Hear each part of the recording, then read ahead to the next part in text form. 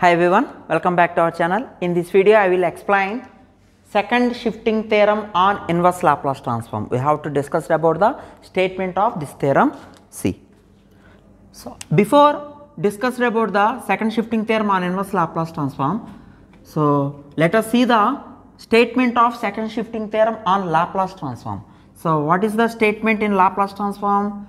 If Laplace transformation of a function f of t is a function of s, then Laplace transformation of Laplace transformation of of the function which is of the form f of t minus a into u of t minus a is equal to e power minus as into f of s otherwise e power minus as into L inverse of sorry Laplace transformation of f of s is nothing but L of f of t. So, L of f of t. So, this is the second shifting theorem on Laplace transformation. Say exactly we have to write the inverse of this statement. See,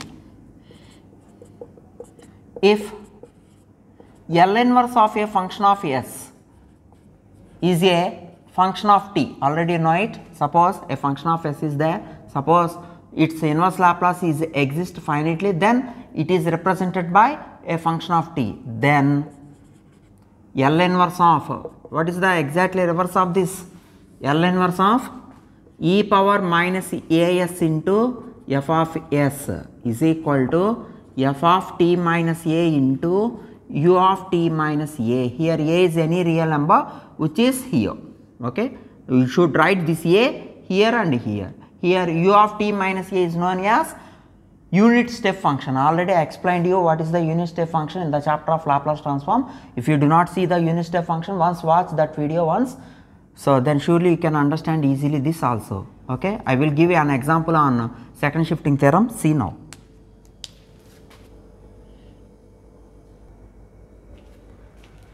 So see the example on second shifting theorem.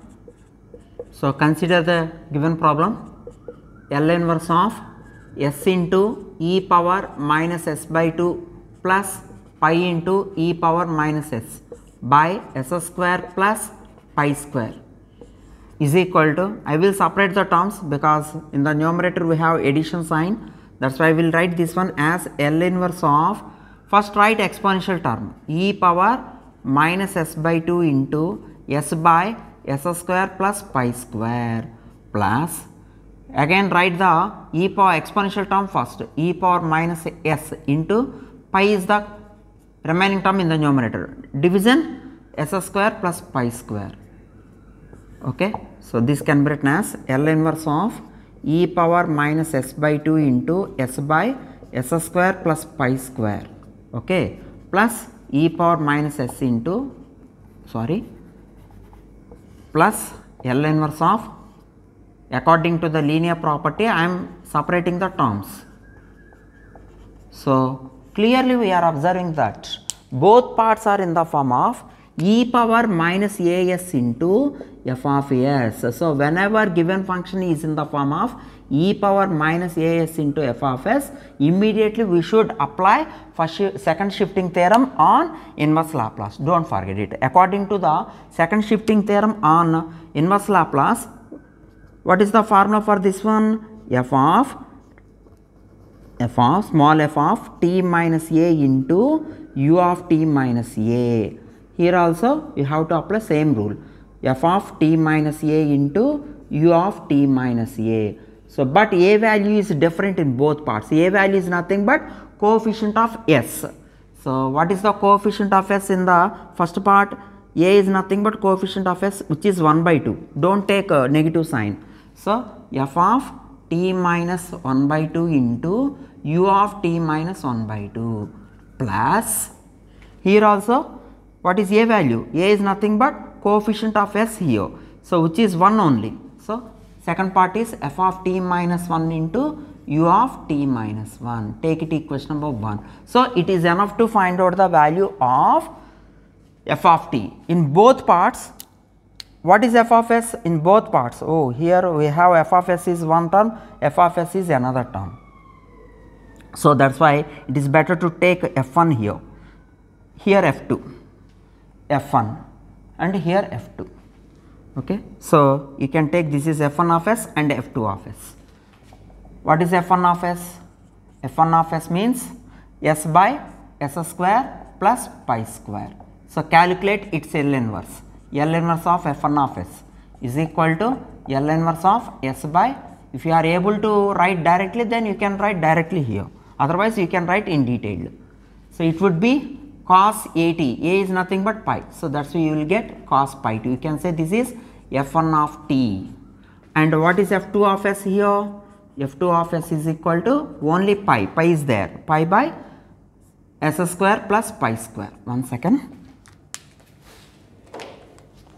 so calculate its L inverse. L inverse of f2 of s is equal to L inverse of pi by s square plus, uh, plus pi square. It is in the form of L inverse of 1 by s square plus a square. 1 by a sin at. That is why 1 by pi sin pi t, pi pi gets cancelled, you will get only sin pi t. So you can say this is f2 of t. Now substitute these all values in 1. So you will get L inverse of given problem. L inverse of s into e power minus s by 2 plus pi into e power minus s by s square plus pi square is equal to f1 of t. f1 of t minus 1 by 2 okay but what is f1 of t? Cos pi t. In this t whenever we have t here replace it by t minus 1 by 2 so you will get cos of pi into t minus 1 by 2 into u of t minus 1 by 2 u of t minus 1 by 2 means it is a unit step function. Plus here we have to write ft f2 of t minus 1 here we have only f2 of t but we need f2 of t minus 1 so in this t whenever we have t here replace it by t minus 1 so sine of pi into t minus 1 into u of t minus 1 okay? In this way we can easily complete the problem. This is the example on second shifting theorem. Don't forget one in, one important point. When we are applying when we have to apply second shifting theorem on inverse laplace. Suppose given function is in the form of e power minus as into some function of s then immediately you should remember the second shifting theorem on inverse laplace. Thank you very much. In the next video i will give some more examples on inverse laplace. Thank you